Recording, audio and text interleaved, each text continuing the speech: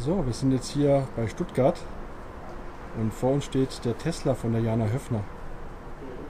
Aber es ist ja eigentlich nur ihr, ja, ihr zweites E-Auto. Das dritte kommt nämlich jetzt hier gerade vorgefahren.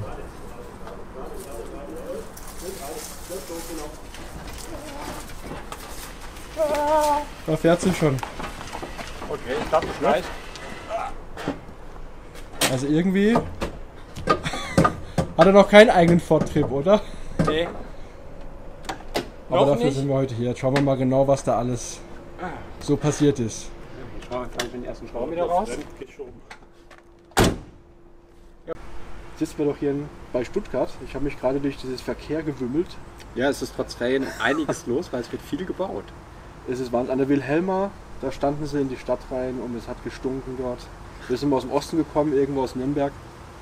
Irre. Aber jetzt sitzen wir hier. Äh, auf, es ist so ein Hinterhof hier, gell? so eine Hinterhofatmosphäre. Es war früher ein altes Werk, was Schamottöfen hergestellt hat. Ja, ja. hat mir der Kollege eben noch gesagt. Und wir haben ja gerade, das haben wir gerade am Anfang des Videos gesehen, wir haben hier den VW-Bus, den T3, herausgerollt Mit einem MS, ja. mit einem S. Und der Tesla steht hinten dran und mein Wohnmobil. Ja, ich bin heute mit dem Wohnmobil unterwegs, äh, mit Diesel. Ja, daran muss ich noch arbeiten. Aber da kommen wir später drauf. Gut, ähm, ich habe hier mal eine kleine Liste gemacht, Jana. Ähm, einfach mal um als äh, so eine Einführung zu machen, über was wir heute reden wollen. Und zwar primär erstmal natürlich über dein Projekt, den T3, den Umbau eines Verbrenner, eines Benzin. Ja, das war ein Benziner. Beim Benziner, genau, Wasserboxer. Genau, dass wir alles 1,6. rausgeholt haben, was Schmutz macht und dann alles reinbauen, was schön ist. Und da sind wir gerade mitten im Projekt und deshalb sind wir eigentlich heute hier zusammen, um das nochmal genau ja, Ja, zu man, kann, erklären. man ne? kann so sagen, man ist so, ich bin, also ich bin so kurz vor Bergfest, man sieht ja, er, ist, Ja. Er, ist, er sieht schon wieder ganz schön aus, hat wieder seinen Kühlergrill mit den original Rundleuchten. ja, da gehen wir Da nachher nochmal drum rum mit dem Video, dann Genau. können wir das mal angucken. Der war ja ziemlich verbastelt gewesen. Ja. Also die Karosserie ist jetzt fertig. Der Lack ist fertig. Ähm, es sind noch so ein paar Kleinigkeiten an ein paar Ecken, die gemacht werden müssen. Das Schloss von der Heckklappe und aber so ist eigentlich fertig. Jetzt kann es eigentlich dann an den Umbau gehen. Schön. Ich möchte aber noch ein bisschen weiter ausholen. Also ich kenne dich ja eigentlich erstmal nur virtuell, also in Anführungszeichen von der Zoe-Pionierin. Das ist dein Blog und gefühlt warst du für mich so die, die erste E-Autofahrerin, die das auch dokumentiert hat im Internet. Da wollte ich erstmal ähm, ein bisschen mehr erfahren. Dann ähm, haben wir uns kennengelernt, ich glaube es war dieses Jahr, es war eine Veranstaltung von Electrify, äh, BW. Da war ein Vortrag. Hat mich dort von einem der, jetzt haben wir hier einen wunderbaren Zug, aber voll elektrisch, glaube ich. Ja, ja, das Ja, das war äh, beim Vortrag kennengelernt und da hattest du noch so eine Andeutung auch gemacht, ja? weil du hast gesehen, ich bin Wohnmobil da und hast Ja. gesagt, ah, da ist, da kommt gleich ein Blogbeitrag drüber. Und ich gesagt, was redet ihr jetzt über Wohnmobile? Ja? Und dann kam gleich die Woche drauf dann dieses Projekt hier. Ja, und dann habe ich noch ja, den Podcast abonniert, darüber reden wir später auch noch mal ein bisschen, zusammen Ja. mit Jerome Pironell. Ja, und dann wollte ich noch mal auf ein, so aktuelle Themen einsteigen. Und ich nenne das Endzeitgebrüll, das war auch mein letztes Thema beim letzten Video. Und da interessiert mich auch mal deine Meinung dazu. Zu den Verbrennern, die ja aufgemotzt werden, elektrisch mit Lautsprechern im Auspuff. Ja, also Ja, beziehungsweise dann halt Klappen reinbauen. oder so, ja. Ja. Ich glaube, ja. Und dann hat mir noch einer meiner Follower mir noch einen, einen Brief geschrieben über den Mythbuster. Äh, Und darin steht auch, dass ähm, ein Artikel drin, ob Tesla ein ökologischer Rückschritt sei. Und da ja, die Expertin sitzt jetzt neben mir. Ähm, also ich kann es bestimmt auch ein bisschen beantworten, aber ich glaube Jana noch viel, viel besser. Und deshalb habe ich das eigentlich aufgehoben für jetzt. Das Bin ich mal gespannt. bin ich auch mal gespannt. Weil vielleicht können wir sogar ein bisschen diskutieren drüber. Mal gucken. Mal. Gut, ich habe hier mein Handy, da stehen so die Punkte drauf, dass ich nichts vergesse. Ich bin auch schon über 50. Okay, reden wir über den T3, oder? Ja, fangen wir damit an. Ja, Also wir haben eben schon mal kurz vorgestellt, ja, dass er auf elektrisch umgebaut werden soll. Du hattest auch mal ein, ähm, ein Crowdfunding gemacht, ne? Das hast du dann leider nicht zu Ende geführt. Ne? Erzähl Ja, es ist, also es ist ausgelaufen und hat halt das Finanzierungsziel ähm, nicht erreicht. Und gut, dann musste ich mir halt andere Dinge überlegen, die ich mache. Mhm. Also das Finanzierungsziel war vielleicht auch ein bisschen hochgesetzt äh, mit 40.000 Euro. Wobei am Ende wahrscheinlich das der Preis sein wird für dieses Fahrzeug. Ähm, da stecken jetzt schon einige tausend Euro drin, also das Fahrzeug zu kaufen und äh, Karosserie aufarbeiten und die Lackierung und so, das kostet alles Geld. Mhm. Und ja, also gut. Ähm, bis jetzt habe ich fast alles selbst bezahlt. Ähm, habe hab aus der Familie ein bisschen Unterstützung bekommen, habe von einem Bekannten, der durfte da für eine Wochenende mit einem Tesla fahren. Ja. Äh, so, also es läppert sich so, aber es läppert nicht genug. Es, ne? läppert, es läppert nicht genug. Jetzt mache ich halt, versuche ich halt möglichst viel selbst zu machen, auch wahrscheinlich dann, dann am Umbau, beziehungsweise dann ähm, man kennt ja Leute, die in gewissen Gewerken arbeiten, die mit Metallbau arbeiten, die mit Holz arbeiten oder man bringt halt schnell was zum Schreiner. Ähm, können wir nachher vielleicht nochmal zeigen, weil ein paar ja. Teile von der Inneneinrichtung durch den Motorbrand, den er ja hatte, äh, beschädigt wurden oder halt einfach verwohnt waren. Ähm, dann geht man halt zum Schreiner und sagt, bau mir das bitte nach. Oder man bringt ähm, jetzt die Stoßstangen, habe ich zum Sandstrahler gebracht, der die dann abstrahlt. Und, mhm. Aber man kennt dann halt Leute, wo man weiß, ah, wenn ich jetzt ein Metallteil brauche, Lass uns mal noch die S-Bahn vorbeifahren. Ja, das ist ein guter Zug. Die fahren jetzt alle hier lang, weil ähm, bei euch ist ja die Erde nicht so stabil in Rastatt. Achso, ja, das liegt an Rastatt, ja. Das ist gerade so von unserer Wohnung so einen Kilometer weg. Ah, ja. Aber ist jetzt schon ruhig, oder? Jetzt ist schon ruhig, ja. ja Aber wir hören jetzt zum Glück nicht so sehr. Also da ist mal ein bisschen was dazwischen. Aber das sind jetzt die, die Raststatter praktisch. Ich weiß es nicht, ob die ja auch aber, ja. aber die müssen sie ja also wie gesagt, äh, man kennt ja dann Leute, die, wenn man, wenn man Metallteil braucht, ähm, das ist jetzt auch hier ganz schön auf dem Gelände, weil hier ziemlich viele Gewerke sind, ähm, dass man sagt, du, ich brauche ein Metallteil, jetzt kannst du mir das irgendwie anfertigen oder kannst du mir das helfen ähm, oder zeig mir, wie das geht, dann mache ich es selber. Ich habe ja auch sehr viel selber gemacht jetzt bei der Restauration, weil wenn es dann um darum ging, Bollen zu ziehen oder, oder zu verzinnen. Das muss natürlich dann ein professioneller Karosseriebauer machen. Das kannst du gar nicht rechnen dann, oder? Deine Arbeitszeit? Oder nee, die eigene mit, Arbeitszeit. Mit, Mindest, glaub, mit dem Mindestlohn rechnest du die ab, oder?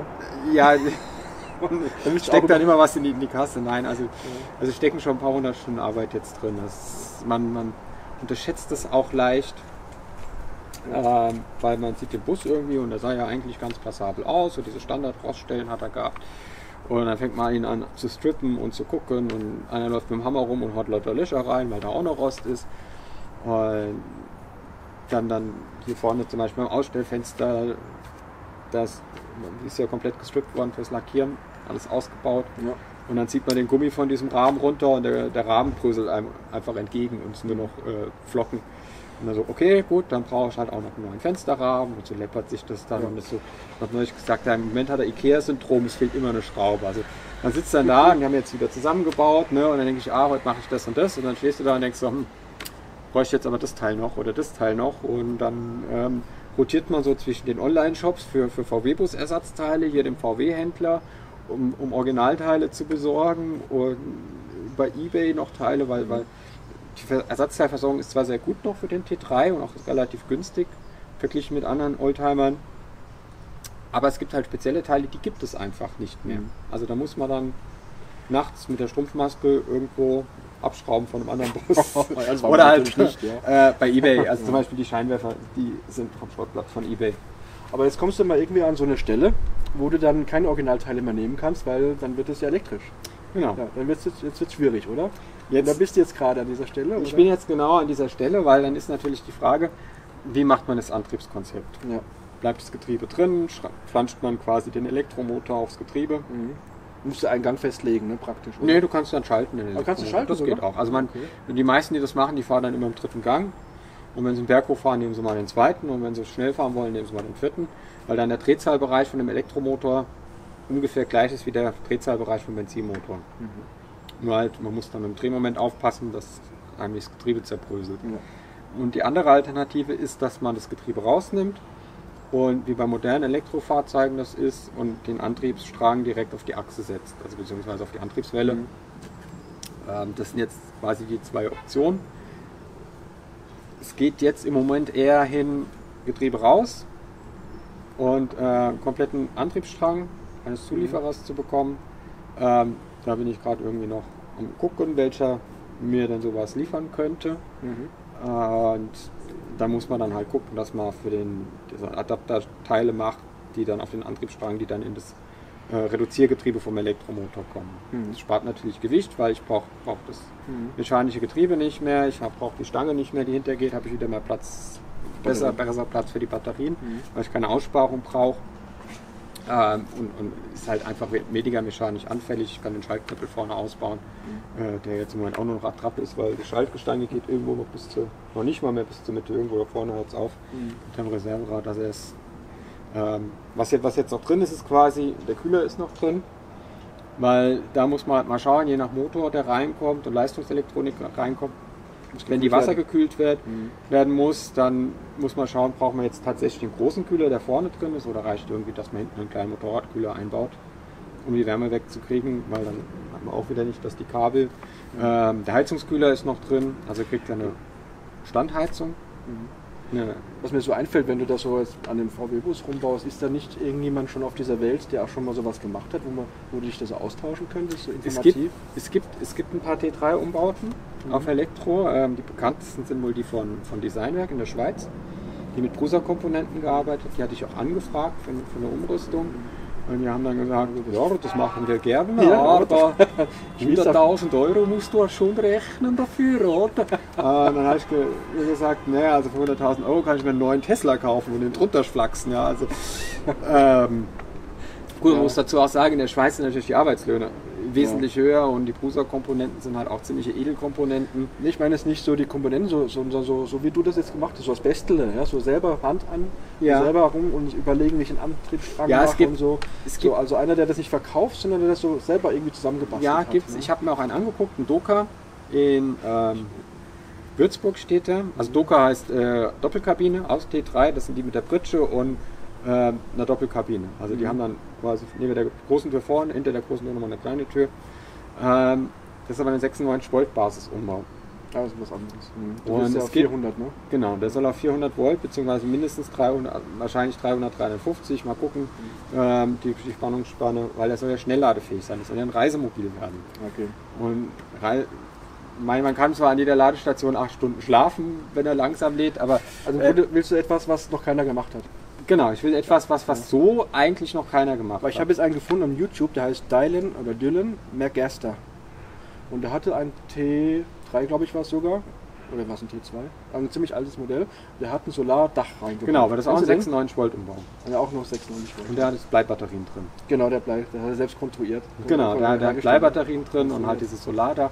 Dann gibt es äh, in England noch, ETAP heißen die, die bauen auch T2 um, aber halt auch auf, auf 96 oder 144 Volt Basis. Okay, also du bist einfach eine, eine, eine Pionierin wieder. Ja, Zoe diesmal nicht, aber Genau. T3 genau. Also Pionierin. am Ende, am Ende wäre ja wäre ja ideal, dass man sagt, ähm, so habe ich es gemacht und jetzt kannst du es nachbauen. Mhm. Also dass man sagt, okay, die, die, die Komponenten sind drin, ja. ja, und ähm, die und die Teile habe ich anfertigen lassen, jetzt zum Beispiel für die Motoraufhängung, wenn man einen Motor einbaut, braucht er eine Aufhängung. genau. Ähm, dass man das einfach so dokumentiert, dass man sagen kann, damit kannst du zum Schlosser gehen, kannst du das Teil nachbauen lassen. Ähm, oder dass man Musterteile erstellt, dass man quasi zwei Teile macht, ein Musterteil. Und dass man dann sagen kann, das kannst du dir nachbauen. Oder, oder irgendein Umrüster kann das dann nachbauen. Also man muss ja immer dazu sagen, ähm, weil, weil die Leute kommen dann, ja, bist du, bist du bescheuert, dann kauf dir doch ein ENV 200 und mach eine Campingausstattung, da bist du ja viel billiger Ja, genau. am Ende. Das, das weiß ich noch nicht, ob man da unbedingt billiger ist bei einem ENV, weil der kostet ja mit Batterie kostet ja auch äh, über 30.000 Euro. Und dann noch eine Campingausstattung reinbauen und dann fährt der im Winter 70 Kilometer.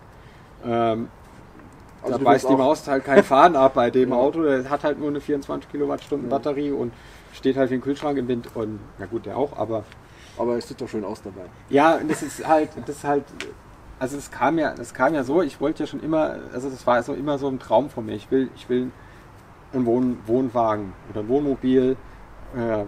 Ich hatte auch mal einen LT28, den habe ich dann direkt wieder verkauft. das, war, das war noch zu Verbrennerzeiten. Dann habe ich so, ja, kauf mal Ebay für 500 Euro. Ja, so mit Mühe und Not nach Mainz gefahren, ist die Karre gerade auseinandergefallen und dann, äh, ja.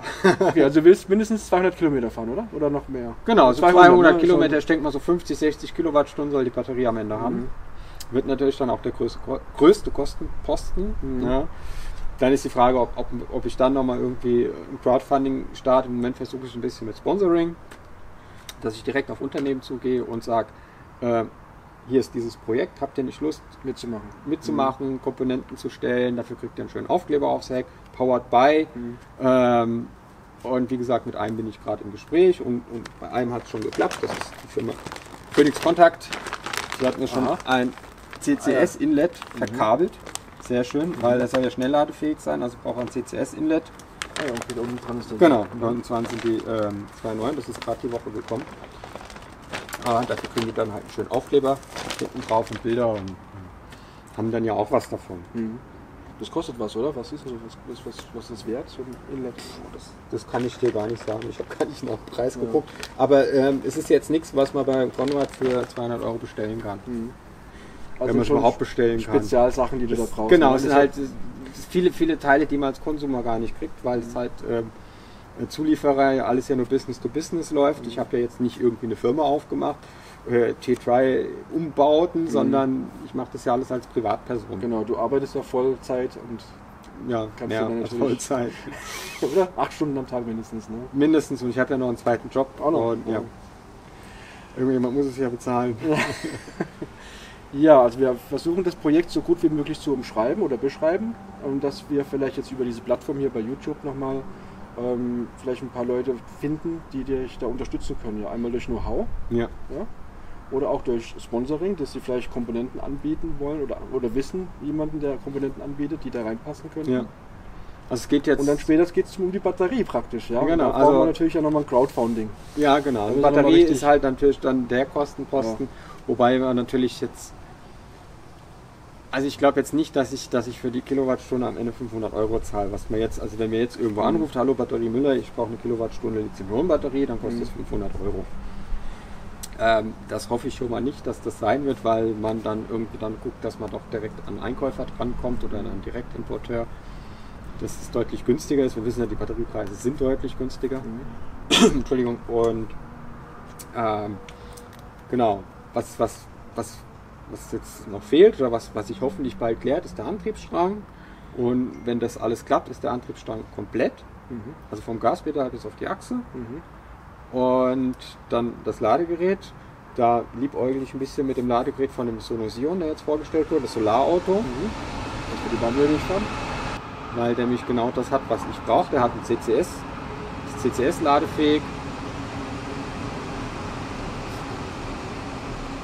Das hier und das ist der mit dem Solar. Genau, das ist der mit dem. Solar, der ist. CCS-ladefähig, der hat einen 11 kW AC-Lader Mhm. und äh, kann 2,5 2,7 kW Rückspeisen, Wechselstrom.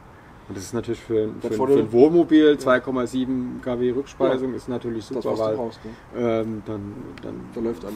Ja. fahre ich, in, fahr ich in den Garten zu Freunden und dann schließt man die Lichtstecke da am Bus Genau. an. Ich habe auch einen 2000er Wechselrichter drin. Ja, 2000 Watt. Funktioniert. Kaffeemaschine, alles. ja, eben. Und ich glaube, mit, mit, mit der Batterie, die geplant ist, kann man lang Kaffee kochen, bevor die Batterie leer ist. Ja. Cool, aber das ist dann jemand, der, der das dann einbaut und dann machst du auch dann ja, den öffentlich und vielleicht kann er dann seine Ideen weiterverkaufen. Genau, also ich muss jetzt halt rausfinden, wer der Zulieferer ist, Mhm. äh, weil, weil Sonosion ja nichts selbst, eigentlich kaum was selbst entwickelt, die kaufen ja alles zu, dadurch schaffen die auch die Preise. Ähm, hab schon mit denen gesprochen und jetzt sind die gerade im Stress, weil sie ja gerade ihre Werbetour haben. Wenn die da mal ein bisschen ruhiger sind, dann werde ich die nochmal ansprechen, dass man dann halt weiß, wer der Zulieferer ist. Mhm. Man hat zwar so Vermutungen, aber das muss ja nicht unbedingt stimmen. Und dass man dann auf den Zulieferer geht und sagt, da kannst du dein Ladegerät quasi schon mal vorab testen. Mhm. Ja, zur Not bau dir einen Tracker ein, Mhm. einen Datentracker, der äh, zu dir heim telefoniert und, und, und die Performance von deinem Ladegerät irgendwie Mhm. dokumentiert. Ich hatte ja auch, äh, ich weiß nicht, ob sie das, dich, ich glaube, die haben sich mit dir auch verbunden. Das sind die, ähm, der Erik Werkmeister. Und äh, dieser, dieser blinde Georg, äh, Onkel Georg, der hat sein komplettes Haus unter Solar gestellt. Ja, ja das habe ich in der Folge ich Batterie- gesehen. Ja, und hat diese Batterie auch da ähm, und speichert seinen eigenen Strom. Und die haben einen T1 drinstehen. Da habe ich Ja. gesagt, ich habe auch ein paar Fragen gehabt und gesagt, komm, ruf dir mal die Jana an. Ich glaube, das hat er auch gemacht, oder? Nee, Noch nicht? nee. Also, da ist er. Da müsste nur. Dann wollen wir nochmal noch ein bisschen ausholen, nach hinten, wenn, es, wenn, du, wenn du gestattest. Also Ja. ich interessiere mich immer so ein bisschen auch über, über die Person, die hinter solchen Sachen steckt. Vor allem, wenn das so wie jetzt du, Jana, das mit so einer, mit so einer Energie machst. Also Ja, mal mehr, mal weniger. ja, nee, aber du, wenn ich verlinke auch deine SEO-Pionierin unten in die, in die Show Notes. wenn, du, wenn ich deine Texte lese, ja, die haben ja wirklich Hand und Fuß von vorne bis hinten und die sind auch wirklich auch komplex aufgebaut. Der letzte habe ich jetzt gerade angeschaut in der Mittagspause mit den zahlreichen Grafiken. Zum, zum Umweltbonus. Zum ja. Umweltbonus, äh, wirklich mit viel, ja, mit viel Detailliebe und auch ähm, Liebe zur, zur Ehrlichkeit hast du das alles. Und die Artikel sind alle so. Also guckt mal, wenn ihr euch da ein bisschen einlesen wollt, zoepioneering.de. Da gibt es vieles von dir. Ja, und da habe ich dich auch als erstes Mal getroffen, ja, weil ich ja so angefangen habe mit Elektromobil. Ich bin ja praktisch Youngster. Ja, du bist ja, obwohl jetzt zwei. Naja, 2013. Es gab ja schon Leute, die fahren schon seit den 90ern elektrisch. Echt? Ja. Aber die sind nicht im YouTube oder im. Nee, die sind im L-Web. naja, gut. Aber mein kleiner bescheidener Horizont geht halt eben nur bis 2013. Ja. Da habe ich halt eben mal angefangen und dann bist du da gewesen und irgendwie hat mich das ähm, fasziniert. Und so ja, das gemacht hast. Was, was, äh, was ist dein Hintergrund? Was treibt dich da an, in diesem Bereich so, so Gas zu geben?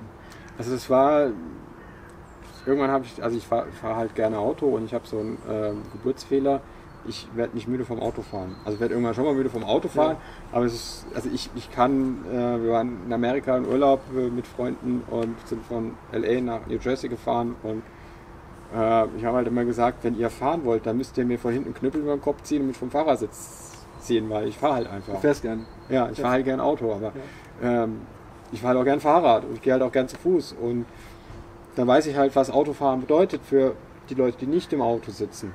Mhm. Also Stichwort Lärm, Stichwort Abgase. Äh,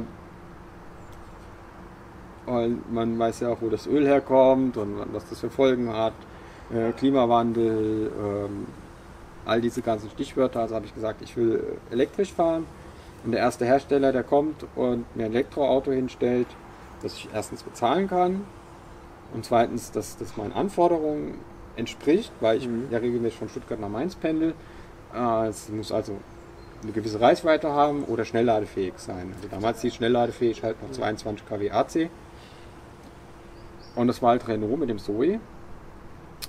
Und ich hatte mich halt vorher versucht im Internet zu informieren, Elektromobilität, was gibt es denn da, wie funktioniert das denn? Und dann habe ich dann halt so diese Standardberichte, die, die ja heute auch noch immer erscheinen, gefunden von wegen, ja, es ist teuer, es macht keinen Spaß, brauchen ewig zum Laden und so. Also dieses, dieses äh, wenn Leute, die keine Ahnung haben, irgendwie über Sachen schreiben, von denen mhm. sie nichts wissen. Da habe ich gesagt, gut, dann muss ich halt irgendwie selber drüber schreiben. Ja. Und habe halt durch mein Studium einen journalistischen Hintergrund und habe das da quasi auch gelernt zu schreiben. Aha. Ja. Also ich Deutsch 4, ja. ja, in der Grundschule hatte ich Deutsch auch eine 5. das hat sich ja später rauskristallisiert, dass ich doch lesen und schreiben kann. Ich habe so, hab so, ein paar Abonnenten, die schreiben mir dann ab und zu mal Texte, sagen, sag mal, was hast du denn da wieder gesagt? Ja, das ist kein Deutsch, was redest du denn da? Ja? Und dann schreibe ich als zurück so richtig, da ist der Rechtschreibfehler drin, ich kümmere mich da nicht drum. Okay. Ähm, und dann habe ich halt gesagt, na gut, es fehlt auch irgendwie sowas, ja. ähm, wo, wo, man, wo man erfährt, wie ist das denn, wenn ich jetzt sage, okay, Verbrenner AD, ich will jetzt ein Elektroauto. Was, mhm. was, was begegnen einem für Hindernisse, wo, wo sind die Hürden, mhm. etc. pp. Und dann habe ich gesagt, gut, dann schreibe ich das halt auf. Mhm. Ja, ich hatte vorher auch schon andere Webprojekte, die, die ich irgendwann mal da eingestellt hatte. Und habe gesagt, gut, mein, habe mir dann bei Blogspot damals noch, ähm, oder Blog, irgendwas, Blogger, bei dieses Google-Ding, ähm, kostet ja nichts. Dann habe ich halt einfach mal angefangen zu schreiben und dann lief das irgendwann. Dann habe ich irgendwann mal nachts vorm Computer gesessen, habe gedacht, na, jetzt muss ich mal eine Domain überlegen und dann kam ich auf diesen kreativen, nicht kreativen Namen, Zoe Pionierin, habe den registriert, hat dann den Blog umgezogen auf WordPress und ähm, los ging's. Los ging's und bevor ja. ich mir irgendwie einen gescheiteren Namen hätte überlegen können, war es dann halt auch irgendwie schon etabliert, ein Twitter-Account und so. Und so ging das dann halt los und dann halt ähm, über die Erfahrung geschrieben, die ersten Reisen mit dem Elektroauto, äh, die Hürden, die Hindernisse. Und dann kam, kam ich irgendwann an den Punkt, wo ich gesagt habe, ich kann jetzt nicht schon wieder schreiben, ich bin mit dem Elektroauto von Stuttgart nach Mainz gefahren. Ne? Das ist ja dann auch irgendwann langweilig.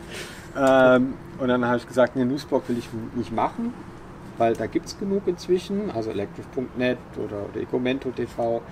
Ähm, das muss ich auch nicht machen. Das schaffe ich auch zeitlich nicht, mhm. ähm, da immer up to date zu sein. Und also muss ich irgendwie ein eigenes Format finden. Da habe ich gedacht, gut, dann Autotests wären ja auch mal was. Ne? Also jetzt mal so, dass man, dass jemand Elektroautos testet, der von Elektroautos ein bisschen Ahnung hat und schon mal weiß so, wo der Strom reinkommt und wenn ich unterwegs bin, was für Ladekarten ich mitnehmen muss, damit der ganze Testbericht nicht nur voll ist. Ich hatte keine Ladekarte dabei, ich wusste nicht, wo ich das Kabel reinstecke. Ja, soll mal vorkommen, ne? solche Testberichte. Solche Testberichte kommen ja vor. Und dann habe ich gedacht, na gut, ist vielleicht ganz gut, wenn, wenn, wenn mal jemand Mhm. und, und sich dann auf die, auf die wesentlichen Dinge des Fahrzeugs konzentriert und einfach sagt, ähm, was an dem elektrischen Fahrkonz Fahrzeugkonzept Mhm. gut oder schlecht ist, ja, oder an dem Fahrzeug an sich gut oder schlecht ist. Dann habe ich halt Hersteller angeschrieben, das hat bei manchen besser geklappt, manche haben gar nicht geantwortet, bei Daimler stehe ich glaube ich auf irgendeiner Blacklist. Ähm, da verschwindet immer alles, was ich hinschreibe. Ja, Selbst wenn dann irgendwie jemand sagt, ah, ich kenne da jemanden, schreib den mal an und dann baut sich so kurz was auf und dann Job ja, kommentarlos beendet, die kommen, weiß nicht, was die ich wollen nicht wieder reden. naja, ich was ich angetan habe, aber gut. Äh, ist mir dann auch egal, ich meine, muss mir ja nicht zum Jagen tragen. Aber dann habe ich halt äh, ein bisschen getestet. Ist auch immer ganz schön, wenn man mal irgendwie mal ein anderes Auto fahren kann.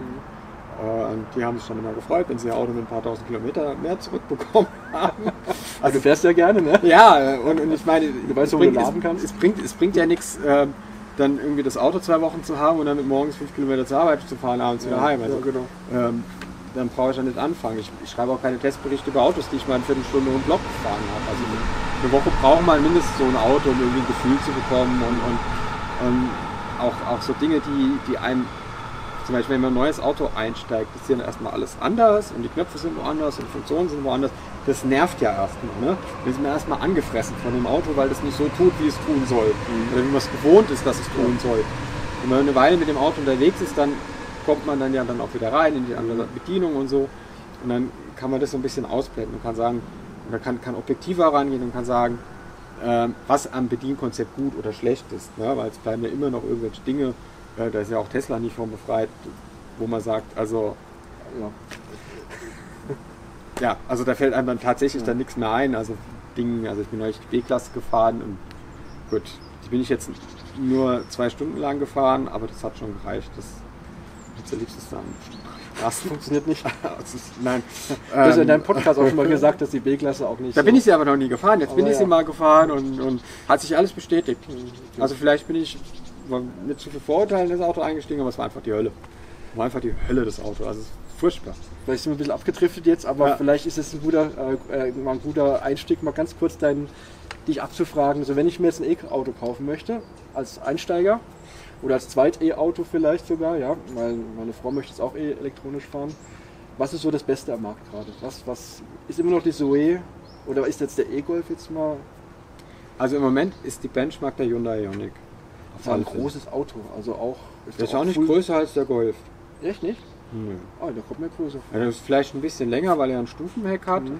Aber innen ist der, ist der glaube ich, nicht größer als der Golf. Also dann gucken wir uns den auch nochmal an. Also den muss man auf jeden Fall angucken. Es kommt natürlich so pauschal, es ist immer schwer zu sagen. Es gibt doch Leute, die sich die B-Klasse gekauft haben und die lassen nichts auf dieses Auto kommen. Weil der Mercedes-Fahrer sind ja so eigenes Leute. Ja, nee, Klientel nee, nicht auch. deswegen, sondern weil das Auto einfach für sie passt. Die haben, die haben einen Use Case für dieses Fahrzeug und da passt es, passt es wunderbar rein. Die wollen nicht weit fahren, die fahren halt gern 50 Kilometer um ihr Haus drumherum. Wunderbar. Optimal, sage ich auch keinem was. Also wenn jemand sagt, also das ist ja meine persönliche Meinung, dass die B-Klasse ein Klump ist. Mhm. Ja, wenn jemand anders sagt, nee, B-Klasse ist kein Klump, weil für mich passt die aus dem und dem Gründen, dann liegt es ja nicht an mir zu sagen, nee, das stimmt nicht, weil ich weiß ja nicht, ich kenne ja, genau. seine Gründe Ja, nicht. Ähm, aber was man natürlich sagen kann, ist, ist, ist der Hyundai ist im Moment deswegen die Benchmark, ähm, weil, er, weil er von der Ladetechnik sehr gut ist. Also was, was, was Schnellladen angeht, AC-Laden ist nicht so gut. Das ist so ein Hasenfuß bei dem Fahrzeug, weil der nur einphasig mit 6,6 kann. Ähm, aber er hat CCS und dieses CCS kann schon heute bis 70 Kilowatt laden. Das ist gut. Ja. Und selbst wenn man 50 Kilowatt lädt, das geht so ratzeputze schnell, weil der ja nur 28 Kilowattstunden Batterie hat. Und das ist ja ein bisschen das Lustige an dem Auto, als Hyundai den angekündigt hat und gesagt hat, Hyundai Ioniq 28 Kilowattstunden, da lag ja irgendwie das ganz Going Electric Forum, lag lachend auf dem Boden. Genau, wir kommen ja nirgendwo Äh, hin. ne? genau, so von wegen 2013 angerufen, ich möchte ein Elektroauto zurück. Und dann kam dieses Auto raus und jetzt ist so, äh, jetzt, jetzt, jetzt ruppen sie alle auf Knien zum Hyundai-Händler, weil, weil dieses Fahrzeug ist so extrem sparsam. Ich bin den ja gefahren für ZDF ISO war ich hier in Erfurt mit dem Fahrzeug, also sind von Stuttgart nach Erfurt und zurückgefahren und ähm, bin auf der Autobahn 120 Tempomat gefahren und ging eigentlich, wir sind ja so durchgekommen, auch mal schneller gefahren und dann bist du bei 13,5 Kilowattstunden Verbrauch gewesen. Also das ist Da ist der Tesla bei 200. Äh, bei 20, ne? Dann bei 120 ist er eher so bei 17, 18. 17, 18? Ja. Okay, Ähm, okay also er ist sehr viel effektiver. er ist sehr, er ist sehr viel effizienter, klar ist er natürlich leichter, aber er ist auch sehr viel effizienter als der Renault Zoe, er ist effizienter als, als der BMW i3, er ist effizienter als der Golf. Also es gibt kein Fahrzeug, was so effizient im Moment ist wie der Ioniq. Ist das nicht die gleiche Technik, die auch im Soul e.V. drin ist? Weil es ja der gleiche Konzern. Ich glaube, es ist nochmal noch mal ein bisschen, Ein bisschen anders. haben- Oder weil die haben ja ja. kein CCS, der Soul. Der Soul hat, hat dann- ähm, und, und was ich so verlautbaren höre, haben die beiden Ioniq noch ein bisschen was am Wärter gemacht. An der Also ist Leistungselektronik. was anderes drin dann. Da ist noch ein bisschen was anderes drin und der Soul muss man auch gucken, der hat einen ganz anderen CW-Widerstand. Klar. Ne? Der steht ja so steht wie eine Schrankwand drin, da. ja, ja. So wie Ähm, ungefähr wie der VW-Bus. Ne? Ja, nicht ganz so schlimm, Aber fast. aber fast. Ne? Also den, den, Soul hatte ich ja gehabt, den bin ich so bei ich glaub, 17 Kilowattstunden dann gefahren. 17. Also zwischen 15 Weil das war unser und 17. Favorit bis jetzt erstmal. Jetzt sind wir den E-Golf gefahren und da muss ich sagen, also mit dem neuen Akku, 36 Kilowattstunden glaube ich, Ja, 35, irgendwas sowas. Ne? 200 Kilometer real. Ja. Nicht schlecht. Und das ist halt das Schöne, der Ioniq schafft halt mit dem 28 Kilowattstunden die 200 auch real. Ja. Und kann den CCS kann ja Und CC Golf auch, aber nur Ja. mit 40, ne? Genau, nur mit 40. Also ich habe gestern ein Bild gesehen vom Stefan Koh, wenn den jemand kennt, äh, aus Österreich, der auch jetzt ein begeisterter Ioniq-Fahrer ist. Da ein Bild gepostet, ähm, die Ladezeit, die haben von 0 auf, oder die haben bei beiden 40 Minuten geladen. Oder nee, 30, Entschuldigung, 30 Minuten haben die bei beiden geladen. Der Ioniq war bei 91 Prozent und der Golf war irgendwo bei 56 Prozent und hat im Schnitt mit 30 kW geladen und der Ioniq mit im mit über 40 kW. Also weil der sehr lange mit den 50 kW laden kann und, und, und erst ziemlich am Ende abflacht von der Ladekurve. Das war auch bei der Fahrt nach Erfurt, das war wir werden, also wir haben ewig gebraucht, bis wir in Erfurt fahren. Aber es lag natürlich daran, dass hier nochmal langfahren, da nochmal langfahren, hier nochmal mit der Drohne drüber, ne, und da nochmal Interview, hier nochmal im Auto. Also bis, bis, bis, bis der die Kamera ausgepackt hat, hätten wir schon weiterfahren können, weil das Auto schon wieder voll war. Das geht echt brack. Also man So. kann jetzt dieses Video angucken, noch in der Mediathek, ne, bei ZDF. Genau. Wieso? Das schaue ich mir heute Abend auch an. Ja? Und äh, ich mach, mal gucken, wann wir online gehen mit dem Video hier. Kommt auf die Schneidarbeit an, vielleicht schaffe ich es noch am Wochenende. Dann sind wir relativ aktuell. Und äh, die Videos sind ja recht lange noch in der Meistens ja von wieso die sind. Müsste, ja, lange. Also schaut es euch mal an. Nicht, verlinken kann man es glaube ich nicht, oder? Muss man, Doch, kann man verlinken. Kann man verlinken, versuchen wir es mal. Cool. Wo sind wir denn jetzt abgedriftet hier? Äh, Der wichtig- Zoe-Pionierin war Genau, man noch, genau. Ja, was denn als nächstes dann? Also du hast ja dann, ich habe den Artikel dann von dir gelesen, wo du auf einmal einen Tesla hattest und du geschrieben hast in deinem Artikel, äh, ich heiße trotzdem noch Zoe-Pionierin, weil der, der Name ist so geil. Und ich bin so etabliert und ich heiße jetzt nicht Tesla irgendwas. Ja, ich meine, du kannst ja Coca-Cola nicht. Also, das ist jetzt vielleicht ein bisschen hochgegriffener Vergleich, aber nein, Warum nicht? Es, es ist ja, Nee, es ist ja in, in, der Szene ist es ja schon ein etablierter Name. Ja. Ähm, der, der, der, es gibt halt Menschen, denen Ja. der was sagt. Und wenn ich jetzt auf einmal irgendwie Tesla-Jana heiße. Genau, oder, da habe ich nämlich abgewartet, weil ich gesagt, Ja. wenn die jetzt sich Tesla Jana nennt, dann heiße ich nicht Tesla Markus. Nee, das Weil ich ist- kann ja nicht doppelt, ja. Ja, da habe ich das ja abgewartet, bis du albern, machst, ja. Ähm, ähm, Weil dann gibt Tesla Jana. genau, und deswegen war ja die erste Amtshandlung in diesem Fahrzeug bei der Übergabe, das Fahrzeug in Zoe umzubenennen. Genau. Äh, und dann, damit passt es ja. Und, Okay, es dann, ist äh, halt historisch gewachsen und deswegen. Und dann habe ich meinen Blog gemacht mit teslamarkus.de Ja. und habe festgestellt, das Schreiben, das ist echt so viel Arbeit, ja. Und, Ja, äh, es ist, äh, es ist, man, man unterschätzt das es. Also, eingeschlafen dann, ja. Ich mache jetzt mehr die Videos. ja, also Schreiben ist, ist, ist, ist nochmal ist noch mal was ganz anderes. Äh, weil, weil wenn, wenn, wenn man jetzt überlegt, so einen Artikel zu schreiben, das ist halt dann doch mal irgendwie acht Stunden Arbeit. Ja. Oder- Vor allem, wenn es Hand und Fuß hat, ja. Man kann das schnell Ja. was hin- Also, also zum Beispiel der Umweltbonus-Artikel, das waren jetzt zwei, drei Tage Arbeit Glaube ich dir. gewesen. Also wenn man, wenn man alles zusammenrechnet, war es sogar noch mehr, halt jeden Monat die Daten zusammensammeln, weil das BAFA liefert ja die Tabellen nicht maschinenlesbar, sondern als PDF. Also sitzt man irgendwie da und hat rechts auf dem Bildschirm das PDF Ja. und links auf einer Bildschirm die Excel und dann. Hat doch gleich einer einen Kommentar geschrieben, gell? Äh, Ich kann deine Tabellen gar nicht sehen, oder? Dann hast du so irgendwie oben wieder reingemacht, oder? Ähm, irgendwas, nee, der war, hat einfach nicht gecheckt, dass Ah, man da durchklicken nicht. kann. Okay. Genau. Ja, also die Tabelle lade ich natürlich Mach nicht mal. ins Internet hoch, weil da steckt ja natürlich Arbeit drin. Ja. Also wenn sie jemand haben möchte für bestimmte Zwecke, kann man darüber reden, sie zur Verfügung zu stellen. Aber ähm, ich führe ja dann auch Statistiken über, über, das KBA, also was die ganzen monatlichen Zulassungen und so. Genau, das höre ich auch immer in dem Podcast. Ne? Ja. Aber da kommen wir gleich dazu. Jetzt dann wollte ich noch mal kurz äh, das CO-Pionierung abschließen. Tesla jetzt, was ist das nächste Auto? Hast du dann irgendwie schon Ideen oder ist bei Tesla irgendwas, was dir, was dir zusagen würde? Ich würde gerne noch auf ein Ding kommen, aber vielleicht sagst du es gerade. Also ich habe ich hab eine Reservierung für ein Model 3. Okay, ja. Nee, ich weiß nicht. Ich weiß, also ich fände es schon mal wieder schön, mal so eine Parklücke reinzufahren oder einfach ein Parkhaus und so. Wo ne? man aussteigen kann. Also, ne? also auch vorwärts in Parkhaus, also neulich bin ich rückwärts im Parkhaus hochgefahren, weil da vorher jetzt die Rampe nicht hochgepasst hat. Oh, Also es war so eng gebaut, dass es halt vorwärts nicht ging und dann bin ich halt rückwärts in das Parkhaus und rückwärts auf, aus dem Parkhaus raus. War hat bestimmt sehr lustig ausgesehen. Ähm, aber auf der anderen Seite, ich bin da echt konservativ, was, was Interieur in einem Fahrzeug angeht. Ne? Also ich will halt, ich will halt ein Display hinter meinem Lenkrad haben. Okay, aber vielleicht, ja. Vielleicht, wenn du es dann siehst und dann mal gefahren bist, ist dann Wenn vielleicht ich, doch ja toll. genau, man, ja. Abwarten. man, muss, man muss es mal ausprobieren. Ich meine, jetzt ähm, frisst er mir ja gerade die Haare vom Kopf. ja, auch noch ein paar da. Äh, es, sind noch, sind noch ein paar da. Ich äh, muss mich noch nicht von Kartoffelnetzen ernähren. Ich habe noch ein paar Schalen übrig. Ähm, also das geht noch, aber es ist halt jetzt kein neues Auto drin im Moment. Gar nicht. Äh, bevor, bevor ich auf diese verrückte Idee kam, mir einen VW-Bus zu kaufen und auf Elektro umzurüsten, habe ich kurz drüber überlegt, ob ich, ob ich das Model S aktualisiere. Also da war ja noch nicht mal ein Jahr alt. Also da hatte ich ja noch nicht mal ein Jahr, aber dann gab es halt viele neue Sachen und so. Noch das, das Facelift? Nein, das ist kein Facelift. Das ist 2001, 2016. Das ist, ähm, ich habe den bekommen, das war ja ein Vorführer, habe den bekommen am 1. April und zwei Wochen später kam das Facelift. Gehen wir gleich auch nochmal drum rum. Ja, Ähm, ja, ich habe gedacht, wir reden mal ganz kurz über diesen Semi-Truck, heißt es doch, oder? Das ist doch das Event im September bei ja Tesla. der Semi-Truck. Ja, Wäre das denn nicht irgendwas so? naja, was, was Semi-Truck sowas heißt ja, so ein Teil, ne? ein Semi-Truck heißt ja eine Zugmaschine.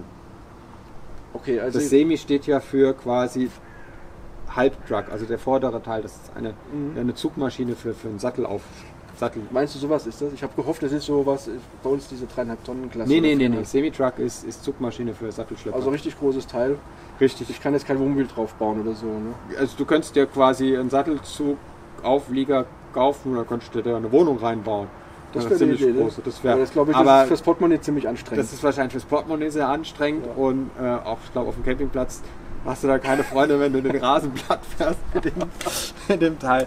Ähm, nee, okay, dann lassen wir das Thema mal weg. Schade.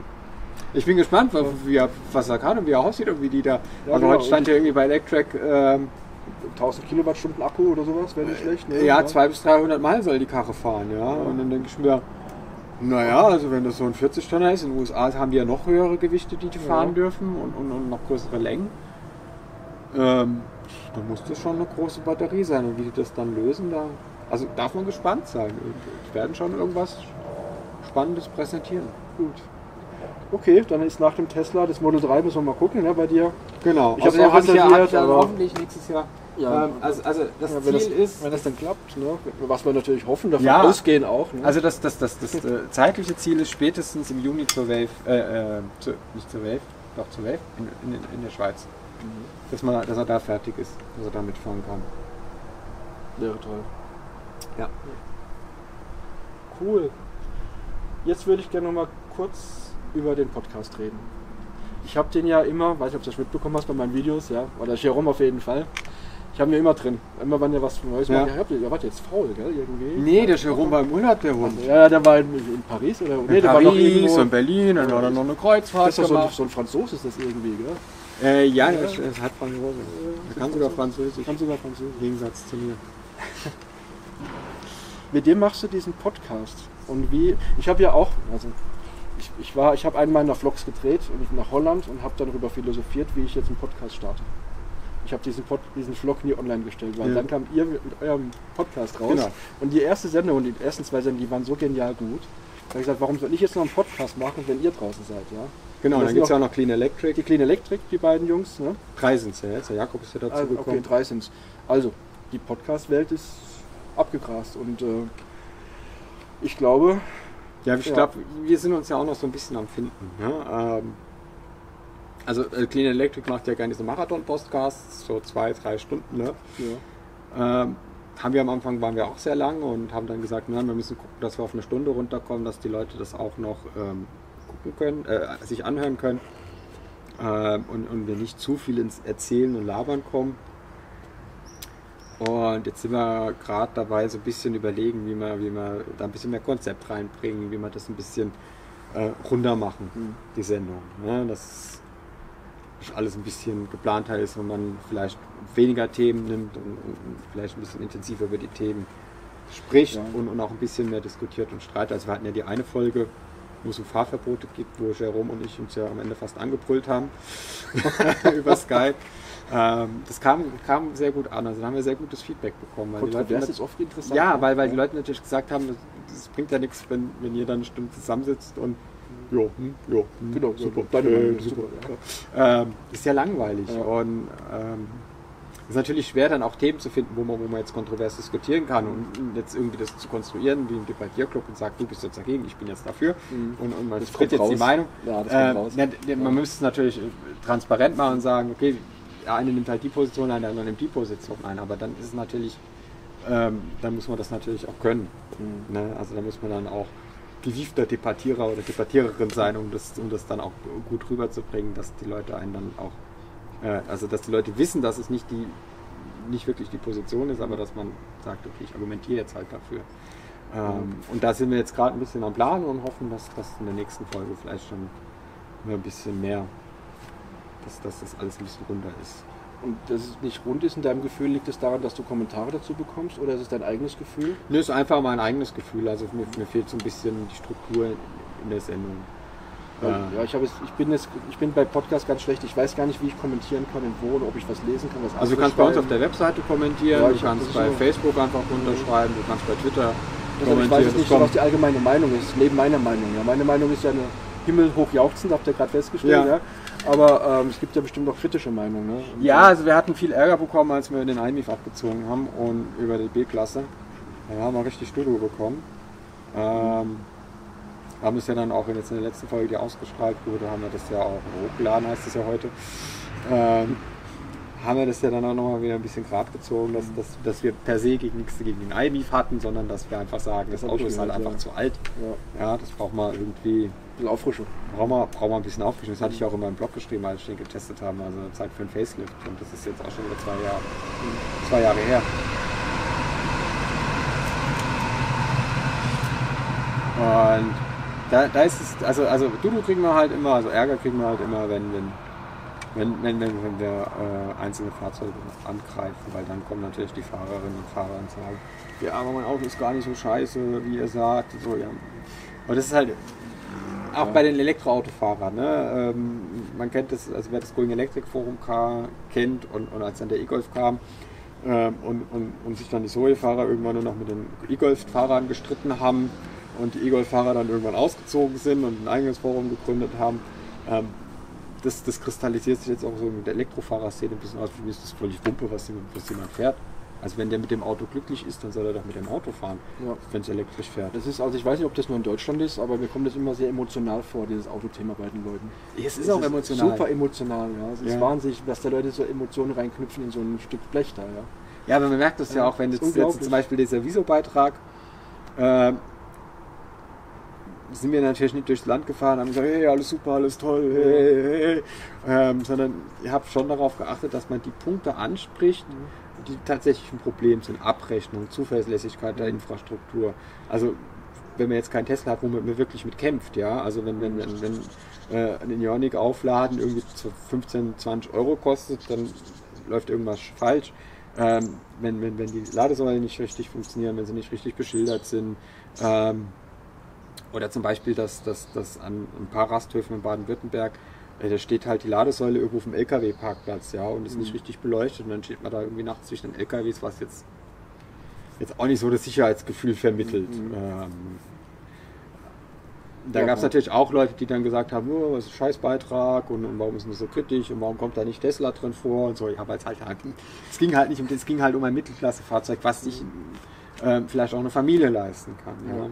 Und, nicht nur irgendwelche äh, wirren Singles, die mit zwei Jobs sich, sich, das Auto finanzieren oder Leute, denen ihre finanzielle Lebensplanung abgeschlossen ist oder das ist schon der Ausdruck. Finanzielle Lebensplanung ist abgeschlossen. Äh, so, das ist bei mir nicht der Fall. Ich gehe arbeiten für mein Du warst der Erstere, ne? Ich bin der erstere Fall. Genau, der erste Fall gewesen. Du machst das ja mit dem Jérôme Brunel, haben wir vorhin schon mal gesagt. Ne? Und der Jérôme hat mich auch schon angeschrieben vor zwei Tagen, oder war es gestern sogar, hat gesagt, Mensch, mach, machen wir doch mal ein Interview zusammen. Ich brauche unbedingt noch ein bisschen Werbung für den E-Mobilitätstag in Horb Am 9. am September. 9. September. Horb am Neckar, sehr schöne Stadt. Genau. War ich gerade erst. Wir werden uns auf jeden Fall treffen, weil ich komme auf jeden Fall. Habe mich auch schön. angemeldet online. Und äh, ja, will auf jeden Fall den Jerome nochmal genauer kennenlernen. Wir haben uns auch schon mal kennengelernt Ja. bei einer Veranstaltung von Electrify. Genau, und dann äh, die Clean Electric Jungs kommen auch. Da können wir vielleicht dann irgendwie noch so. Ja, sehr schön. Also ich bin auf jeden Fall da. Vielleicht zieht das auch ein bisschen. Ähm, es haben schon ein paar Leute gesagt, wenn ich komme, dann kommen sie auch. Also ja, da, je, mehr, Ja. je mehr, desto besser. Ja. Und er möchte es zum richtigen Event ausbauen. Und ich glaube, ja, das, das wäre super, wenn das klappen würde. ja, ich hoffe, so viele Autos passen am Ende nach, nach Horb. Ja, ich gebe noch eine E-Mail-Adresse, das ist proemobil.gmx.de. Das werde ich noch mal unten reinschreiben in die Genau, Shownotes. findet man aber auch bei Electrify BW bei uns auf der Website. Ja, Im genau. Terminkalender steht es auch Genau. drin. Okay. Gut, ja, wollen wir hoffen, dass das gut klappt. Und ansonsten machen wir trotzdem ein Interview noch mit dem Jérôme. Ähm, auf Französisch. Oh, Oder auf très bien. Très bien, très bien, ja, bonjour. Ich glaube, wir haben schon mehr als eine halbe Stunde. Ja. Aber typische Tesla-Käufer. Ja, es ist ja, das ist ja, das, das ist auch ein Phänomen bei Tesla. Also viele Leute denken ja, Tesla-Fahrer, das sind irgendwelche reichen Spinner oder, oder ähm, Schnösel, äh, halt so vom Beruf Sohn oder vom Beruf Tochter. Ähm, aber das ist ja gar nicht der Fall. Also das ich kenne ganz viele, und das trifft ja auf mich zu, die sich nie ein Fahrzeug in dieser Preisklasse gekauft hätten oder, oder auch nur darüber nachgedacht hätten, wie man das hätte finanzieren können. Rechne das mal in D-Mark um noch. Ja, äh, rechne das mal in D-Mark um. Also es sind ja ganz viele Menschen, die, die normale Angestellte sind natürlich schon Akademiker, also man braucht natürlich schon ein gewisses Einkommen. Ja. Ähm, aber ich zum Beispiel, ich habe halt einen zweiten Job, den ich nebenbei noch mache und damit kann ich mir halt das Auto leisten. Hm. Ja. Aber ich gehe halt dafür arbeiten. Hm. Ähm, und, und meine Eltern sind nicht reich. also Also du bist ein ganz normaler Mensch. ich bin ganz normaler Mensch, Ja, ja. ähm, hab halt, hab halt, ähm, also auch, auch, hab halt ähm, Realschulabschluss gemacht vor langer, langer Zeit. Ähm, hab dann eine Ausbildung gemacht als Radio- und Fernsehtechnikerin. Hab dann beim Fernsehen gearbeitet ähm, als, als, als Mathstechnikerin und bin dann wieder zur Schule gegangen und habe Abitur gemacht und hab, bin dann auf die Uni gegangen, habe studiert und habe dann halt irgendwie jetzt einen guten Job gefunden. Aber ja, es zeigt ja, wenn man, wenn man irgendwie will, dann, dann, geht es schon. Ja. Ja. Ich habe den ja auch finanziert. Man muss halt bei der Finanzierung immer darauf achten, das gilt ja irgendwie für, für alle Autos, dass, dass, man, dass man nicht hinter einem Wertverlust hinterher rennt. Ja. Ja, also dass wenn man sagt, okay, jetzt hat sich meine Lebensumstände irgendwie geändert und Verkaufe ich das Ding. äh, ich verkaufe das Mhm. Ding und komme irgendwie null auf null raus oder, oder so lange, vielleicht sogar mit, mit, mit ein bisschen was Mhm. zurück. Hm. Genau. Also das, Ja. Also ich habe meinen auch finanziert. Ich habe ja den über die Firma laufen. ja. Ja, meine eigene Firma habe ich halt selbst entscheiden dürfen, wenn ich das auch nicht fahre. Muss meine Frau fragen, gehört auch die Firma ja mit. Und äh, habe den dann auch trotzdem finanziert, ne? weil ein Prozent, ja. KfW war ja dann, äh, die gab ja so, so einen günstigen Kredit. Für, für Unternehmer, ja. Und dann hat die aber meine Volksbank, hat dann, darf ich sagen, ja, meine Volksbank hat, diesen, hat da irgendwelche Daten oder irgendwelche Termine verschlafen. Es gibt ja auch Sparkassen. Ja, ja, gibt auch Sparkassen, gibt auch andere Banker, ja, egal. Und die haben dann aber den Termin verschlafen und haben gesagt, ach, wir machen das nicht mit der KfW-Bank, ma- machen wir bei uns. Sie kriegen auch die Pro- 1% und fertig. Ja, ich meine, Ja, die müssen ja auch irgendwo hingucken. Und haben wir das mit 1% finanziert, das Teil. Ja. Habe eine Anzahlung gemacht. Und jetzt zahle ich, also die Leasingrate von meinem BMW, den ich vorher hatte, war höher als jetzt diese Rate, die ich da abbezahle. Immer Ja. mir das Auto. Oder der Firma. Ja, Also, ja, leasen würde ich noch nicht. Äh, Leasen, ja, die verarschen nicht immer am Ende. Der, Ja, ja. der Restwert ist immer so eine Sache, ja. Ja, ja. Oh, da ist eine ganz kleine Marke an der Felge, 4000 Euro ab. Ja, ja, genau. Viele Deutsche verbinden ihr Auto mit sehr starken Emotionen. Mein Sohn übrigens auch. Der hat ja auch seinen BMW 5er sich umgebaut wieder und er muss natürlich auch ein bisschen lauter Auspuff rein. Also wir sind dann komplett gegenteilig. Ja, was er dann lauter in die Straße reinfährt, fahre ich leise in die Straße rein. Das ist dann so ausgeglichen wieder. Aber es, ich will es hier, er guckt das bestimmt auch wieder, das Video. Ich will es ihn jetzt hier nicht äh, bloßstellen, sondern ich finde gut, was er macht. Und äh, macht Soll halt eine Straße weiter parken. es gehört aber auch dazu, er ist ein Automechan äh, Mechatroniker, er Ja. ist mit Autos ja, verbunden und er bastelt gerne und das ist ja okay. Aber die meisten Leute, die haben ja mit Autos nichts am Hut, sondern die kaufen ein Auto. Ja, die kaufen das, so wie es aus der Fabrik kommt. Und was ich momentan ziemlich ähm, blöd finde, ist, dass man mittlerweile aus der Fabrik schon ein Auto bestellen kann, ohne dass man jetzt ein Bastler ist, das unnatürlich laut ist. Und anscheinend verbinden da die deutschen Autofahrer auch nochmal Emotionen an diese Lautstärke. Also je lauter mein Auto, desto, ja, ich weiß auch nicht, was ist, was, wie denkst Ja, du das? Also, also man sieht, merkt das ja auch immer, wenn man, wir machen ja mit Electrify BW auch ganz viele Veranstaltungen, wo wir vor Ort sind und an die Fahrzeuge präsentieren und einfach als Ansprechpartner für, für Fragen rund um die Themen, weil da gibt es ja auch ähm, viel Unwissenheit oder Unsicherheit bei, bei den Menschen. Ähm, und dann kommt ja immer so ein Glückscheißer vorbei. Ähm, also sie sind weniger geworden, aber einer kommt mindestens. Ähm, der sich dann hinstellt und sagt, Scheißdreck. Ja, bitte was, warum? Gar keinen Lärm. Hm. Ja, Sinn und Zweck dieses Fahrzeugs, dass es keinen Lärm macht. Ja, ich brauche den Sound! Ja, und dann geht das dann so weiter irgendwie und dann so, ja, sorry, das ist kein Sound, das ist Lärm. Also wenn ich nachts schlafen will und irgendwie, ähm, also ich wohne, ich wohne so in den Tal rein und ähm, dann geht es drüben wieder den Berg hoch, das ist Luftlinie 5, 6 Kilometer. Und da ist eine Schnellstraße und eine Landstraße, die da hochgeht und dann fahren die da immer schön mit aufrollenden Motoren hoch und dann stehe ich senkrecht im Bett. Ja, für die ist das Sound, für mich ist das Lärm. Und, und einfach nur eine, Ruhestörung. Und wenn man dann hört, dass, dass, dass die Autos künstlich lauter gemacht werden, als sie sein müssten, denkt man ir- irgendwie so, Wobei- bitte, warum? Ähm, das muss doch nicht sein. Ich meine, ähm, man macht ja auch nicht mehr äh, Gift in Farbe, als sein muss, Ja. weil es so schön riecht oder so. Weil das Lustige ist ja die Technik, die dafür verwendet wird, also jetzt mal nicht über die Klappen, sondern über die Lautsprecher, wurde eigentlich dafür eingesetzt, um das leiser zu machen. Also wie im Flugzeug. Ja, das Gegen, diese Phasenauslöschung. Ja, Phasenausgleich. Aber das haben die Leute nicht gekauft. Also es, es ginge, ja. Aber die wollten den Lärm kaufen. Ja, ich, ich, ich verstehe das nicht. Und ich, ich war neulich war ich wandern und, und ähm, war 30, 40 Meter an der Landstraße weg und da ist ein i3 vorbeigefahren. Schön. ja. Schön, du stehst in der Natur, fährt ein Auto vorbei und es macht nur. Ja, weil halt, ähm, man sagt ja die IMA, die machen auch Abrollgeräusche und Windgeräusche, aber, aber die strahlen nicht so weit, diese Geräusche, wie die, wie die Motorengeräusche. Also wenn jetzt auf dieser Straße, wo ich gerade gesagt habe, 5 Kilometer Luftlinie, ein Elektroauto den Berg hochfährt, dann höre ich an den, seine Windgeräusche oder Abrollgeräusche. Und wenn hinten dran ein Verbrenner fährt, höre ich aber den Dröhnen, das Dröhnen des Motors, ne? weil das natürlich ein ganz, andere, Ja. ganz anderes äh, Frequenzspektrum ist und, und ganz anders auch äh, sich, sich fortpflanzt über die Luft und, und, und auch ganz andere Auswirkungen hat. Originalton Horst Lünning. Explosionsmotor. Ja, also zerknallgetriebene Motoren. äh, Sehr knallgetriebene Motoren. Ist, ist das ja, deine? deine? nee, das ist ein- ausnahmsweise noch nicht meiner. Der ist, glaube ich, aus, aus Going Electric auch. Ja. Und ja, und ich, ich, ich habe auch überhaupt kein Verständnis mehr dafür, wie man, wie, man, wie man irgendwie drei Stunden auf der Autobahn in so einer Lärmkulisse sitzen kann. Hm. Ja, also ähm, man kennt das ja, wenn man, wenn man lange Strecken gefahren ist oder lange Strecken mit dem Verbrenner fährt, dass man dann irgendwie ankommt und nichts mehr hört. Ja, das ist so richtig wie nach einem Konzert. Ja. Ja. Klingen so Ähm, die Ohren so, ja. Und, und, und halt mit dem Elektroauto, ob das jetzt ein Renault ist oder ein Hyundai oder ein BMW oder sonst irgendwas, ist das auch ganz anders, weil man die ganze Zeit durch den Tisch geschüttelt. Hm. Ja, also das ist ja auch was, diese Vibrationen sind ja weg. Ne? Also gerade wenn man Diesel fährt, ne, das ist ja furchtbar, da schwabbelt man ja abends noch. Ja. Okay Leute, also wenn ihr noch kein Elektroauto gefahren seid, probiert es mal aus. Ja, Oder eben, wenn ihr ich damit mein- meint, das wäre was für euch, dass dieser Sound fehlt, ja, einfach mal ausprobieren. Ja, vor allen Dingen, vor allem die Elektroautos machen ja auch Sound. Also wenn ich, wenn Ja. ich, wenn ich jetzt beim Tesla aufs Gas latsche und die Inverter fangen an zu jaulen, Ja. das ist ja auch ein Sound. Ja, das ist halt nicht so laut, aber es ist halt, man verbindet ja dann auch mit diesem Sound auch etwas. Ja, also auch bei, bei, bei kleineren Elektrofahrzeugen. Ne? Also wenn ich weiß, der Inverter fängt jetzt an, geht, geht in der Frequenz hoch ne? und das, das bringt Vortrieb und so. Ähm, ich muss ja nicht, ich muss ja nicht die halbe Stadt beschallen dafür. Kommt wieder eine Bahn.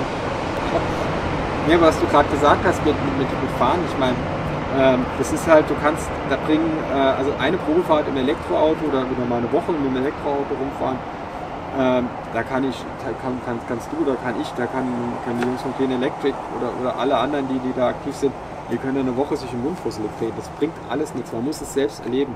zum Händler gehen, sagen, ich will das, die Karre jetzt fahren und wenn er sich weigert, zum nächsten gehen. Also wirklich, ähm, man, muss, man muss es selbst erleben, sonst, sonst kann man es nicht nachvollziehen. Ja. Und, und mir, hat, mir hat mal jemand gesagt, Herr Elektroautofahrer, ihr seid die neuen Vegetarier. Äh, nee. Ja, erzählt ja auch immer. Weißt du, ja, so, erzählt ja jedem, dass du ein Elektroauto fährst. Ja, das Problem, also der Unterschied ist nur, ähm, beim Vegetarier geht es ja um Verzicht. Mhm. Ja, beim Elektroauto geht es ja um keinen Verzicht. Da geht es ja um einen Zugewinn. Einen Zugewinn an Fahrkomfort, einen Zugewinn an, an, an Spritzigkeit des Fahrzeugs. Ja. Ähm, der einzige Nachteil, den man hat, man braucht für längere Strecken halt ein bisschen länger. Ja, weil man ab und zu mal aufladen muss. So what? Mhm. Ja, ich, kann, ich, ich, stehe ja nicht eine halbe Stunde neben und halte das Kabel fest, mhm. sondern ich gehe ja dann essen oder ich lese ein Buch oder ich ja. telefoniere mit der Familie oder ich beantworte E-Mails. man ist zwar länger unterwegs, man ist früher da, man kommt entspannter an, weil dieser Stressfaktor Lärm nicht da ist, mhm. weil man entspannter fährt, weil man Reichweiten optimiert fährt auf langen Strecken. Ja, das heißt jetzt nicht fahrende Verkehrsinsel, aber halt man versucht halt gleichmäßig zu fahren, was, was deutlich entspannt. Ähm, das heißt, auch wenn ich ankomme, habe ich viele Dinge schon erlegt, die ich eigentlich noch machen müsste, wenn ich ankomme. Und ich bin nicht, bin nicht auf 180 vom Puls her, sondern ich bin entspannt, komme an und bin direkt für die Menschen, die ich besuche, bin ich direkt da und verfügbar. Genau, so geht es mir auch. Bloß ein, ein Punkt muss ich noch einwerfen hier. Vegetarier ist kein Verzicht. Also ich bin auch Vegetarier. aber nicht 100% und ich bin auch nicht Vegetarier. Flexitarier. Flexitarier. Ich habe heute, ich muss es jetzt zugeben, ich sage das jetzt auch öffentlich, ja. Wir essen einmal im Quartal Fleisch und es war gestern soweit. Wir saßen in Schwäbisch Gmünd. Ja. Wir haben gesagt, wenn wir da hingehen, wir müssen da den Zwiebelrostbraten essen. Ja. ja. Der ist dort, also haben wir schon mal, ja, und dann haben wir, der war wirklich ganz fantastisch wieder. Also ich habe meinen Fleischkonsum wieder gedeckt für dieses Quartal und werde wieder die Veggie Burger essen bei McDonalds, wenn sie denn da sind.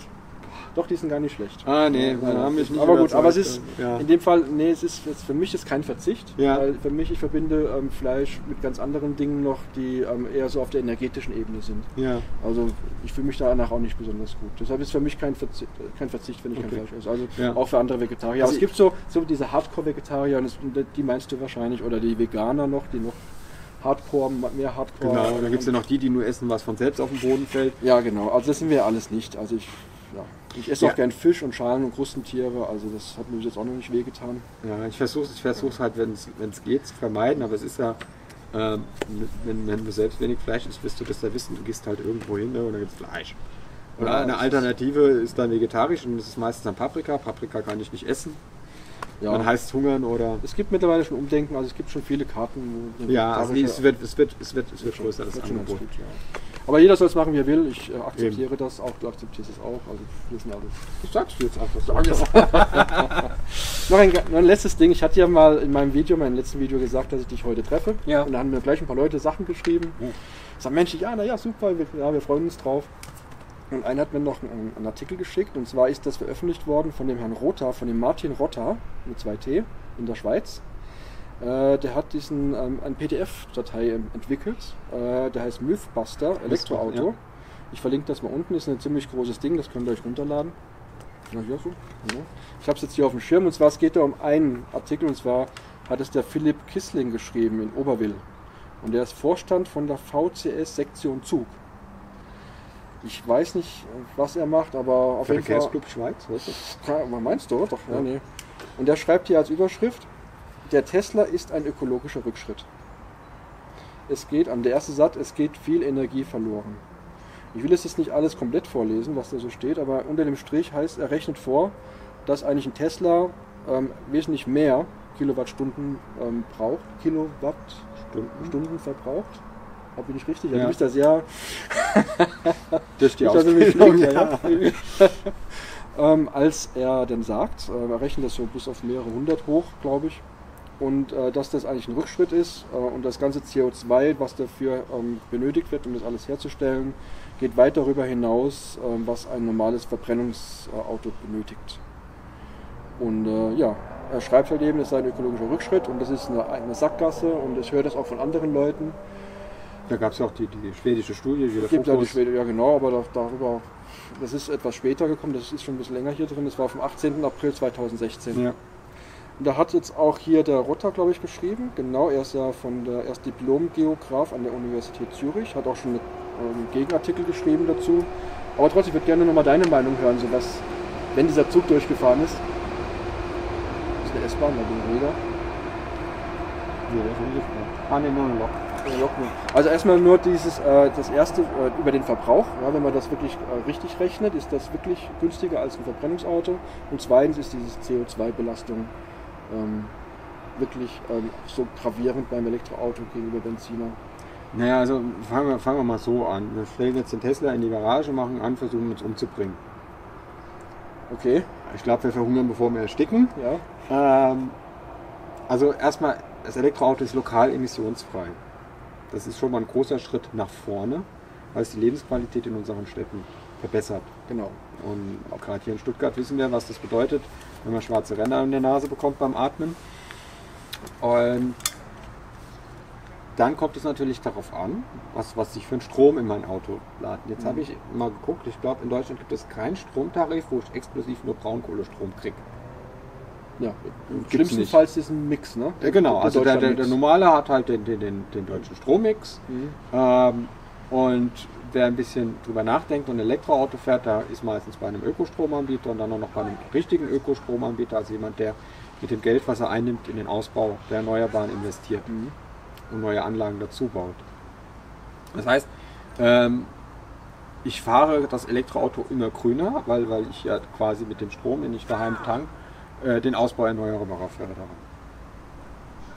Ähm, dann bleibt noch das Argument von diesem CO2-Rucksack, den das Elektroauto ja haben soll, weil, weil die Produktion der Batterie sehr energieaufwendig ist. Das stimmt auch. Da gibt es gar nichts dran rumzudeuteln. Ähm, und das war auch in dieser Studie, die das IVL-Institut in Schweden gemacht haben. Die haben sich da auch sehr, sehr intensiv mit auseinandergesetzt.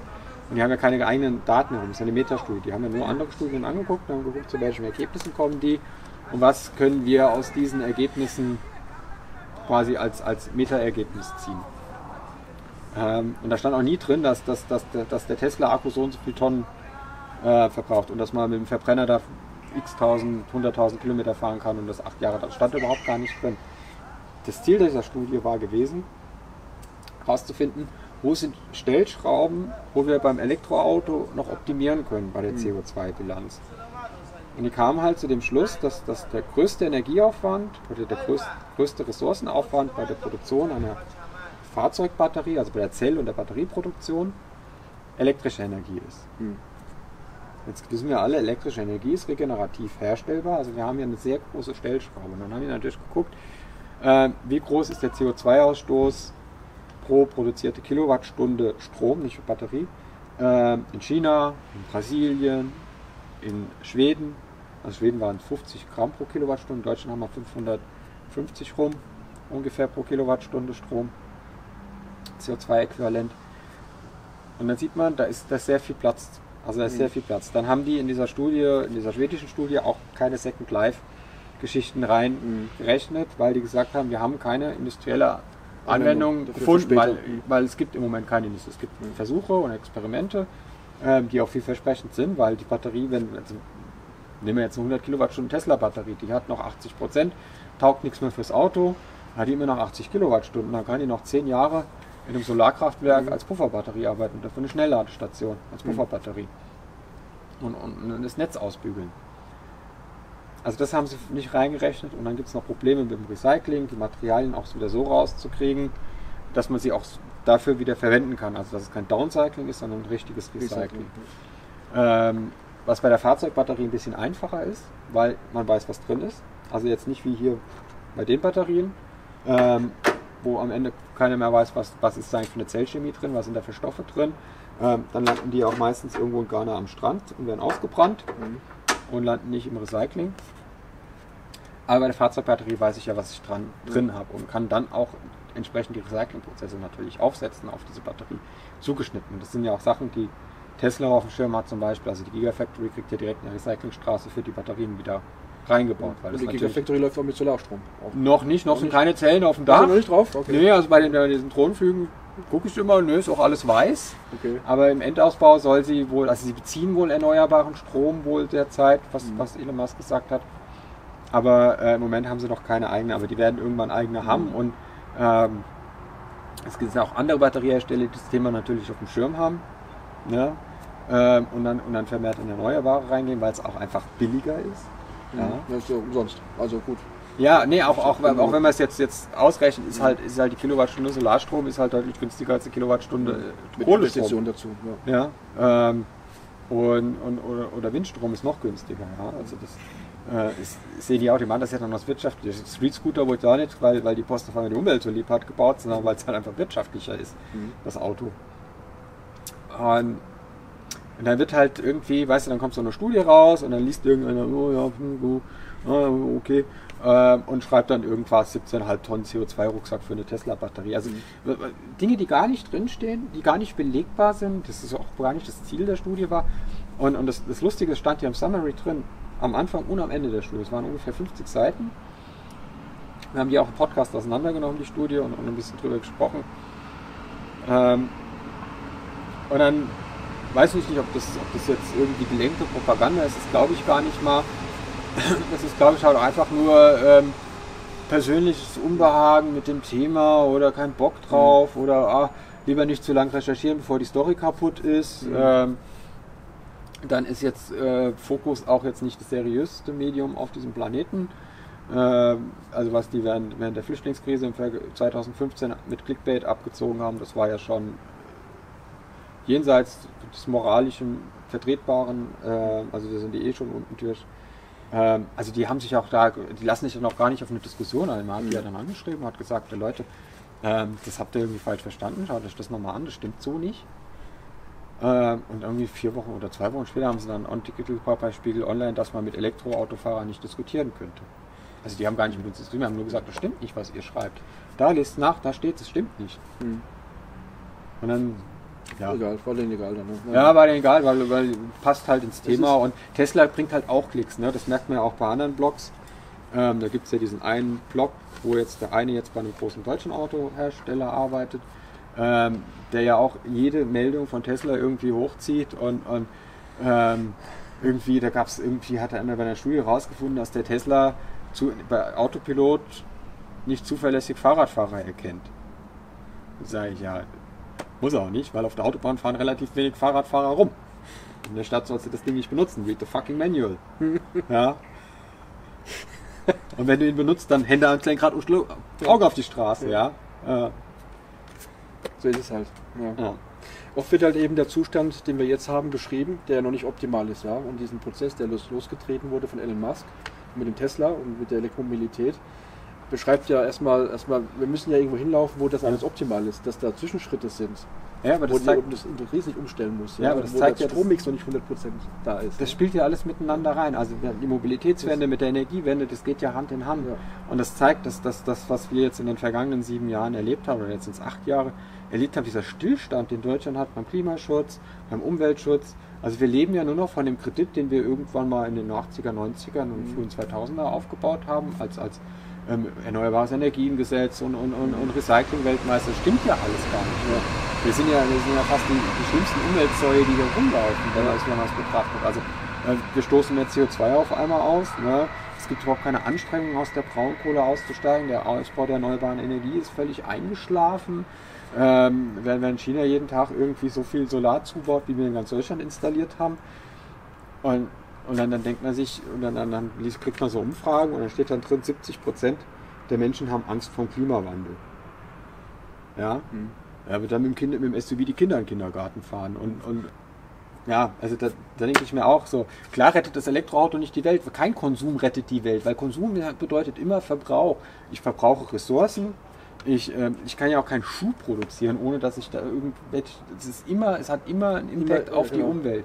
Ne? Aber ich muss halt gucken, dass ich den Impact auf die Umwelt möglichst gering halte. Und das Elektro, also der Elektroantrieb ist halt eine Möglichkeit, unsere individuelle Mobilität zu erhalten ähm, und den Impact auf, auf die Umwelt zu reduzieren. Ja. Weil ich das Ding mit 100% regenerativen Energien laden kann, ich kann die Batterie mit 100% regenerativen Energien herstellen, ich kann die Materialien recyceln, recyceln und kann sie wiederverwenden. Das wird auch perspektivisch so sein, dass man das ein richtiges Recycling macht, weil da wäre ja jeder wär mit dem Klammerbeutel gepudert, wenn, wenn Tesla nicht die Batterien wieder einsammelt und recycelt, das ist ja bares Geld. Ja. Da ist ja, da ist ja Kupfer drin, da ist Aluminium drin, da ist äh, Graphen drin. Äh, in Tesla-Batterien ist auch noch Kobalt drin. Da sollten wir vielleicht auch mal rangehen, dass da kein Kobalt mehr drin ist. Aber das, ist, das kann man ja, das schmeißt ja keiner weg. Ja. Aber dann kriegt man dann so, so Sachen wie, ja, die müssen irgendwie wie Atommüll in Bergwerken entgelagert werden, Batterien. So.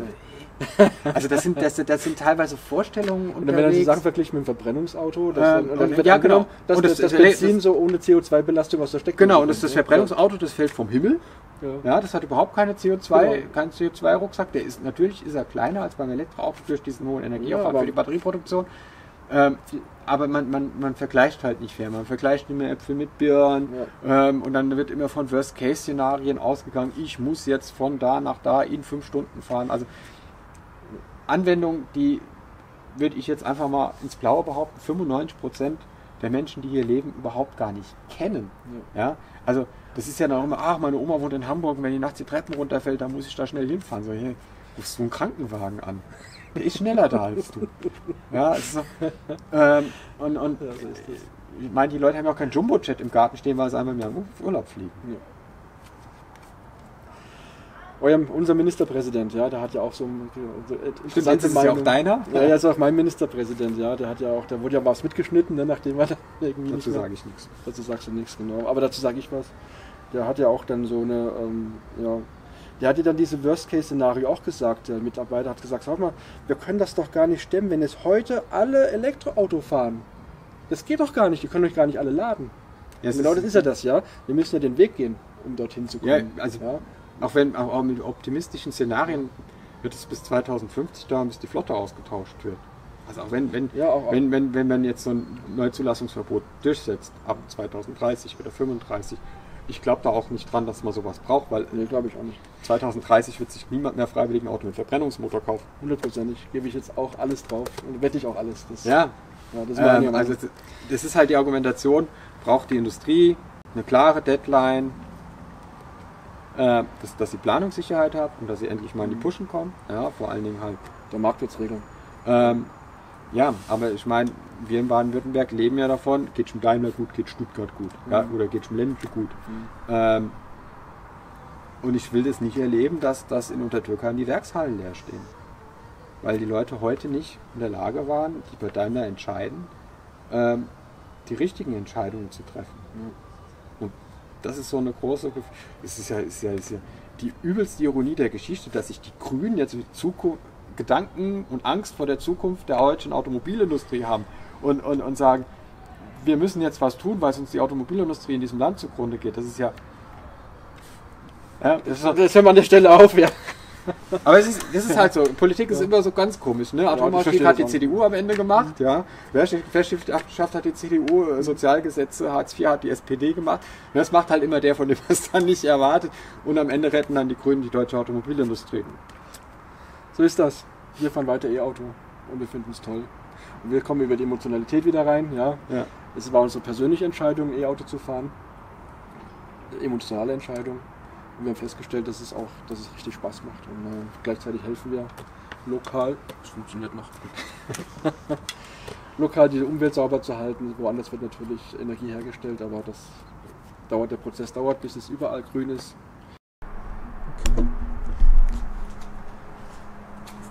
Wo waren wir? 60, äh, wir haben es hochgerechnet mit den Abonnenten. Äh, 4000, wir ja. Und ich habe gesagt, äh, lad den Podcast runter, genau, wir- ich finde den toll. Man kann ihn sich immer auf die Ohren geben, egal wo. Ja, und, und wenn Und- euch, äh, also wenn, wenn irgendwas nicht passt oder, oder jemand Themenwünsche hat, einfach, wir Ja. freuen uns immer über Kommentare, wir freuen uns über Feedback, wir freuen uns auch über Kritik, wenn sie berechtigt ist und konstruktiv. Also ihr Vollpfosten labert nur Scheiße, ist jetzt nicht so konstruktiv.